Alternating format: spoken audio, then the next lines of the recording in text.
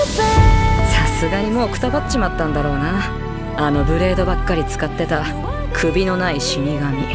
ですが予測されるレギオンの大攻勢に備えることが今私がやるべきことです。備えたって勝ち目はないぞ。それでもやるのか？それでも生き残れと言ってくれた。もういない彼らに応えるために。